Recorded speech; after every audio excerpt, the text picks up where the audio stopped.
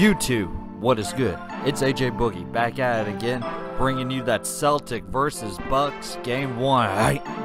The Celtics cruise to a 112 to 90 victory, and I mean cruise. From the very first quarter, the Celtics set the tone and they did not look back. As I'm looking up the pregame for this one, they had Vegas had the Bucks as an 8-point favorite. I called up my imaginary bookie and I told him, I'm willing to bet my house, I'm willing to bet my car, I'm willing to bet everything that I have in my possession. I'm taking this spread, I'm taking the Celtics to win. In Vegas, they must have partied a little bit too hard yesterday. They weren't thinking straight. Having the Bucks as an 8-point favorite, give me my money and Mr. Al Horford, Mr. Flinch Horford dominated. If Giannis is the Greek freak, Al Horford is the Dominican flincher. And Flinch Horford shut down Giannis. Let's start with this block that he had on Giannis. I'd never seen a block like that before. They met at the summit, and both of them, with all their strength, both pushed the ball down, slammed the ball to the ground. It was a block that I've never seen before, no one has ever seen before. Horford had 20 points, 11 boards, shot 50% from the field, including three threes and three blocks. That block, Giannis looked like Zeus at the top of Mount Olympus throwing down the lightning bolt, and Horford said no. Horford was the best player in a Celtic uniform today, no question about it. Horford held Giannis to 22 points.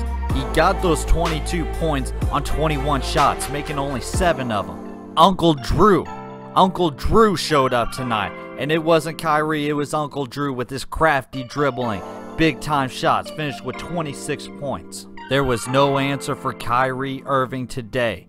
Dancing on defenders, fall away jumpers. He looked incredible. Now, I want to talk about the Celtics a little bit.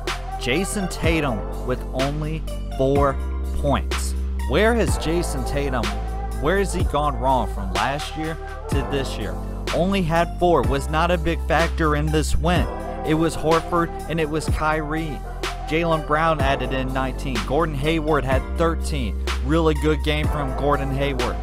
The Celtics have the best bench player in basketball right now, minus Lou Williams, the best bench player in the playoffs.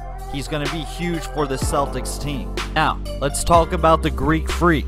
Let's talk about Mr. MVP. 22 points, on 21 shots.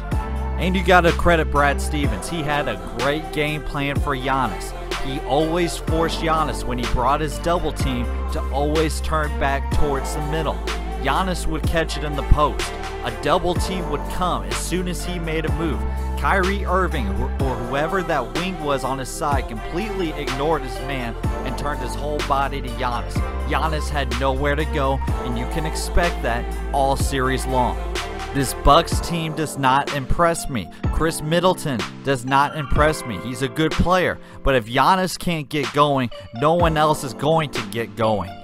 Giannis shot 33% from the floor. Now, I'm not going to rip Giannis. He's still an MVP candidate. Probably, eh, maybe. I don't know about probably yet. Him and James Harden, that's going to be a close race. They say the MVP is a regular season award, but they let it drag on through the playoffs, and that's going to distort everyone's opinion. He wasn't there. He wasn't MVP form today. Now, this Celtics team is a lot different from last year. They're a lot different team from this regular season. The Celtics, they only have one thing in mind and it's the playoffs. They had an up and down regular season, but I was not worried about it at all. Too many people bought into the hype that the Celtics are struggling, that the Celtics don't know what they're doing. They do know what they're doing. They're going to win the East and represent the East in the finals. They got too many great guards. They got a center who can legit shoot. They got a great coach in Brad Stevens. I like this Celtics team. Unless the Bucks can cook up a game plan quick, nothing's going to change from the Celtics side. Double team for Giannis all night. Worry about Middleton. We're not worried too much about blood, so Giannis has got to beat us, and he's got to beat us while he's double teamed. And I don't know a guy who can do that in the NBA, current or former player, not even MJ. Khris Middleton is not a Scottie Pippen. This Bucks team is in trouble. That's all the heat I got for today. Like, comment, subscribe to the Boogie Squad. AJ Boogie, and I'm out. Boom!